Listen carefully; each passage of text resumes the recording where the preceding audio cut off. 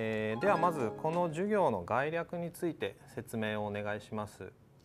はい、えー、今回はあのグローバル・スタディーズのエシックスということで、えー、まあ、英語化で何ができるかというふうに考えさせてもらったんですけれども、まあ、ちょうど教科書の中に、えー、動物の知性について、えー、論じてある文章があったので、まあ、それをあの一つの素材にしてみようというのが事の発端でした。でそのせっかくなので動物に関わる倫理的な課題といえばやはり動物実験の是非がまあ最も生徒にとって分かりやすい切り口かなというところなので、まあ、それを、えーまあ、考えてみる。でしかもその動物実験の是非っていうのは別に彼らが当事者というわけではないので、えーまあ、一つの消費者という視点から見てみる。そうすることで、えー、グローバルな課題として、まあ、グローバルな時代に生きる、えーまあ、エシカルでクリティカルな、えー、消費者になるためにはどうすべきかということを、えー、考えるという設定で、えー、授業を組み立てました。で具体的には授業の中で、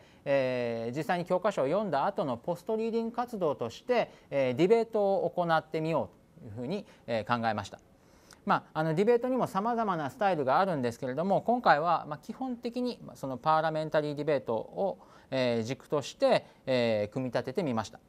まああのえー、クラスが37人という中途半端な人数なのですけれども、えーまあ、あの肯定側否定側4人ずつのチームを、えー、作りで、えー、ジャッジを、えー、生徒に、えー、担当してもらうということで比較的その英語力の高い子たちをジャッジに、えー、当てることによって、えー、しかもその、えー、4人4人の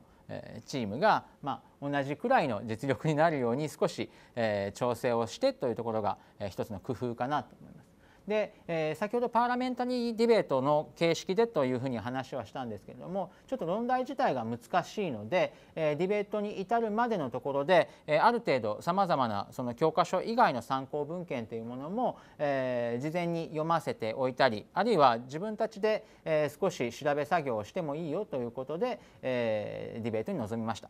まあ、あのディベートということだったのであの勝敗が出るということで、まあ、本当は倫理的な課題について勝敗を出すというのはあのいかがなものかっていう視点もあるんですけれどもあの勝敗が決まるというところで生徒は非常に、えー、分かりやすい結果が出るということに、まあ、魅力があのあったのかなというふうに思ってます。で、えー、先ほども申し上げたようにジャッジも含めてディベートの進行を生徒にあの任せたので、えー、メンバー間の協力といったところ、まあ、グループの中で行ういわゆるアクティブリーディングアクティブラーニング的なことがあの自然と、えー、実施できたのかなと、えー、グローバル・スタディーズの中にそのアクティブラーニングの要素を込みで英語科としてはそこにまあスピーキングとか、えー、も、えー、兼ねた形でえー、うまく組み込んでみようというのが、えー、今回の授業の狙いということになると思います。